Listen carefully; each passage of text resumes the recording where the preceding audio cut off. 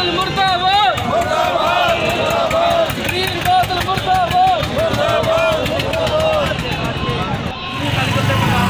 ਬਾਲਾਂ ਦੀ ਗੱਡੀਆਂ ਦਾ ਜਿਹੜਾ ਕਾਫਲਾ ਹੈ ਉਹ ਸੰਗਰੂਰ ਪਹੁੰਚ ਚੁੱਕਿਆ ਤੁਸੀਂ ਦੇਖ ਰਹੇ ਹੋ ਲੱਗ ਰਿਹਾ ਕਰ ਰਹੇ ਆ ਸੁਖਬੀਰ ਸਿੰਘ ਬਾਦਲ ਦੀ ਆਮਦ ਦਾ ਜਿਸ ਤਰ੍ਹਾਂ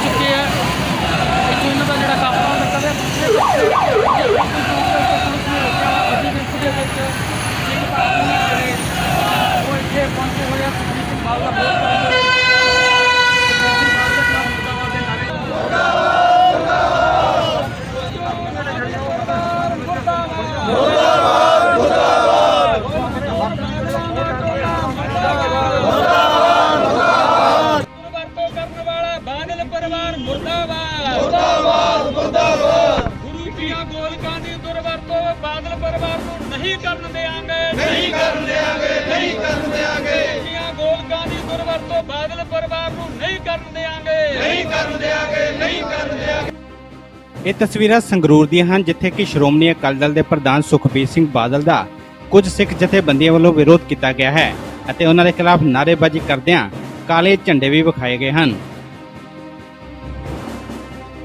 ਸੁਖਬੀਰ ਸਿੰਘ ਬਾਦਲ ਅੱਜ ਸੰਗਰੂਰ ਵਿੱਚ ਕਿਸਾਨਾਂ ਨੂੰ ਮਿਲਣ ਲਈ ਪਹੁੰਚੇ ਸਨ ਕਿ ਇਸੇ ਦੌਰਾਨ ਹੀ ਰਸਤੇ ਵਿੱਚ ਇਨ੍ਹਾਂ ਸਿੱਖ ਜਥੇਬੰਦੀਆਂ ਵੱਲੋਂ ਸੁਖਬੀਰ ਸਿੰਘ ਬਾਦਲ ਦੇ ਖਿਲਾਫ ਪ੍ਰਦਰਸ਼ਨ ਕੀਤਾ ਗਿਆ ਹੈ।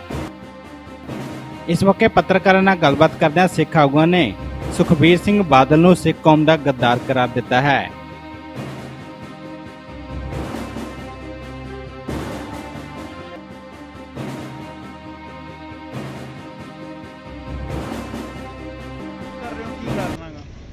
ਜਿਹੜਾ ਬਾਦਲ ਪਰਿਵਾਰ ਹੈ, ਇਹ ਸਿੱਖ ਕੌਮ ਦਾ ਦੋਸ਼ੀ ਹੈ।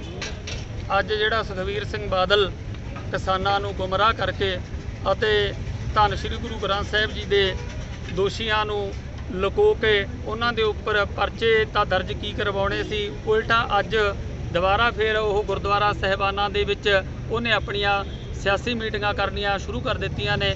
ਅਸੀਂ ਬਾਦਲ ਪਰਿਵਾਰ ਨੂੰ ਗੁਰਦੁਆਰਾ ਸਹਿਬਾਨਾਂ ਦੇ ਵਿੱਚ ਸਿਆਸੀ ਰੋਟੀਆਂ ਨਹੀਂ ਸੇਕਣ ਦੇਵਾਂਗੇ।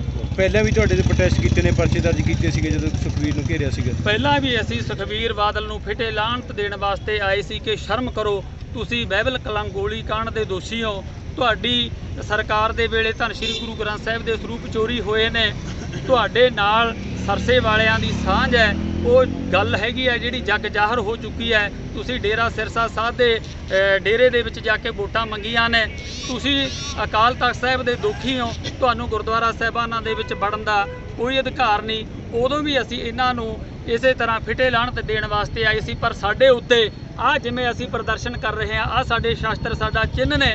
ਸੋ ਸਾਡੇ ਉੱਤੇ ਇਹਨਾਂ ਨੇ 307 ਦੇ ਝੂਠੇ ਪਰਚੇ ਪਵਾਏ, ਜਿਹੜੇ ਗੁਰਦੁਆਰਾ ਸਾਹਿਬਾਨਾਂ ਦੇ ਵਿੱਚ ਸੇਵਾ ਕਰਨ ਵਾਲੇ ਗ੍ਰੰਥ ਸੰਗਰੂਰ ਤੋਂ ਕੁਲਵੀਰ ਨਮੋਲ ਦੀ ਰਿਪੋਰਟ ਪੰਜਾਬ ਟੁਡੇ